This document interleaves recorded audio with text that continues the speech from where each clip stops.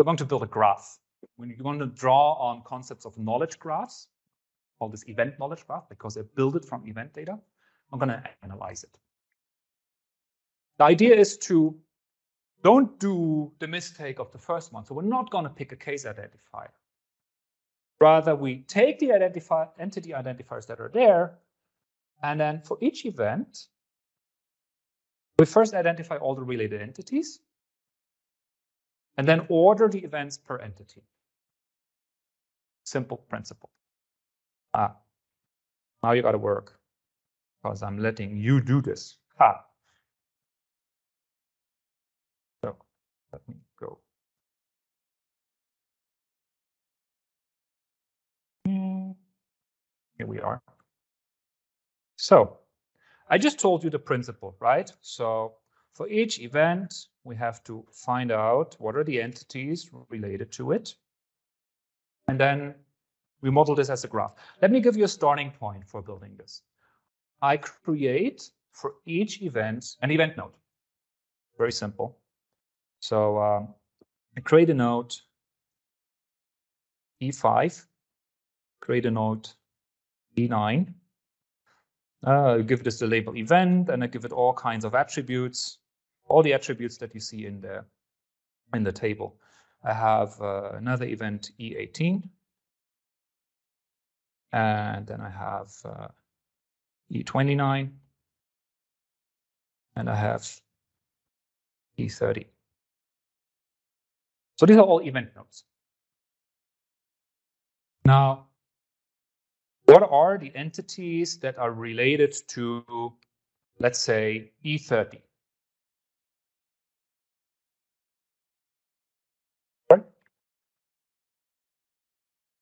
R5 definitely is an entity. We're going to skip over that one. We'll come back to the uh, to the actor later. So, uh, but it definitely is an entity. So if we leave the actor out, I1.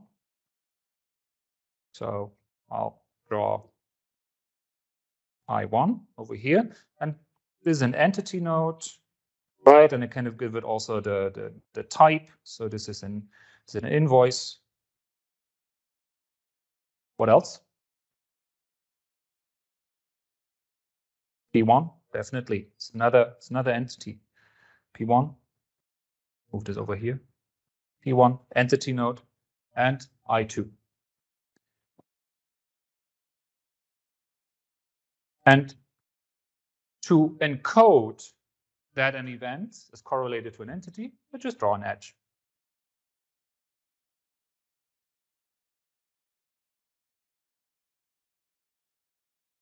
All right, now I've modeled event E30 correlates to I1, I2, and P1. If my handwriting would be better, you could actually read it. What about E29?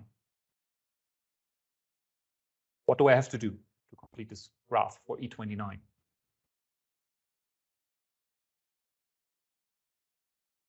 Just draw an edge, indeed, to P1. I can do the same thing for E18, right? I draw an edge to I1. There's also O1 for uh, E18, right? So it's also over here. And uh, E9 uh, is correlated to I2. And E5 is also correlated to I2 and also to O2. So that's the structure. Events that are correlated to entities. Now we add behavior, the behavior dimension.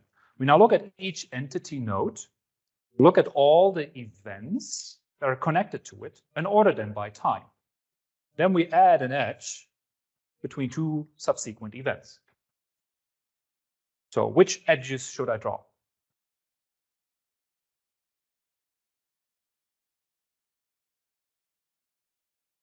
Which edges, that order events should I draw based on this principle? So if I look at I1, within the same entity. So I1 correlates to E18 and E30. So I draw an edge. There's nothing else, right? There, there are no other events. So I draw an edge from E18 to E30. All this the directly follows edge. You can also label it, it's for entity I1. And notice how it skips over E29, right? Because E29 is not correlated to I1. It's not, not part of it. So the edge doesn't go there. If I do this for E5 uh, for I2, then I have an edge from E5 to E9 and from E9 to E30. And last one from E29 to E30 is for payment one. So now I've materialized local traces from the perspective of each entity, right? I don't have a trace for the entire order. I have small local traces for each entity, and they meet here in E30 because that's where the two invoices are paid by payment one. Apart from that, they're kind of disjoint. They do their own thing, they're local. Okay, so if we do this, uh, so these are all the steps that I uh, just did with you on the slides. Then I get an event knowledge graph. It event knowledge graph because it's using the property graph model that's used in knowledge graphs. Well, it's one kind of knowledge graphs. And we're using property graphs because it allows us to model paths, a query path. Can, well, we have a path here, right, for this uh, for this invoice too. These are the traces we like so much in process analysis. So here is this event knowledge graph for this data that uh, I made up for this process. What do you see in this uh, in this graph, in this event knowledge graph? What structures can you see that you find interesting?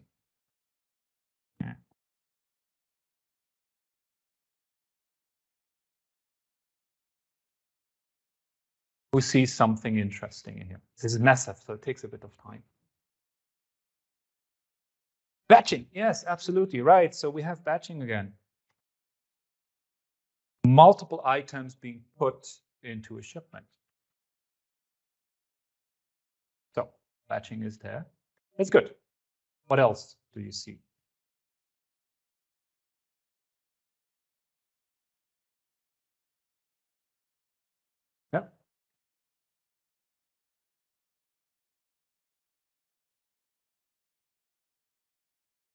Sorry, this was a bit too loud from there. Can you say it again?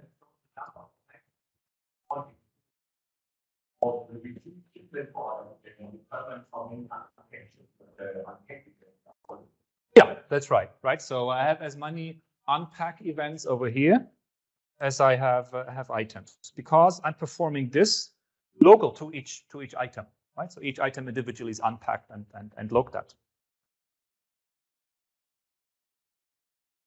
An AND split? E, E5, E5, where's E5? No, there. Oh, you mean E6 here, right? E5, let me, let me go down to E5.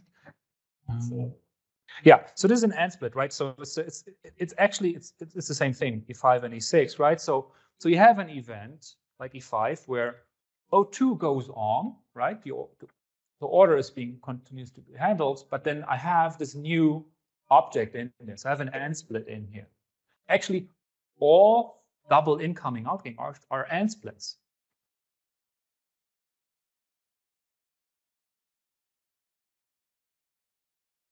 Well, it is an AND split in the sense that we have two concurrent things that kind of meet or, or, or split off.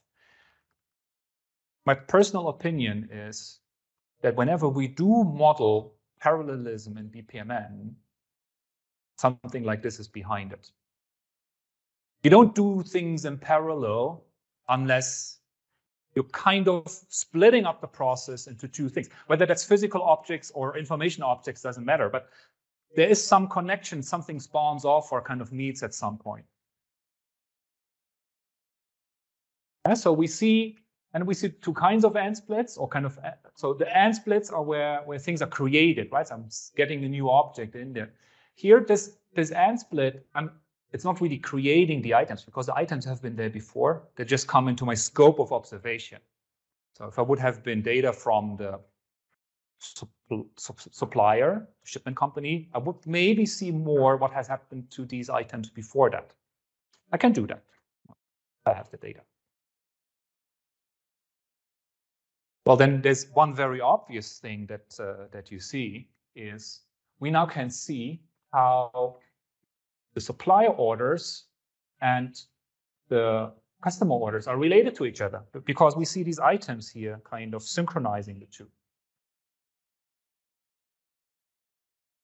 Also, the two supplier orders are completely concurrent, independent. You don't see any edge between them, at least regarding information flow. There's probably much more to see in here. So what I want to get across here with this part is that um, these structures are different from what we're used to, and it takes time to study them. And I think there's many, many interesting things to observe, patterns to look for, to conceptualize, to make it to make it easier.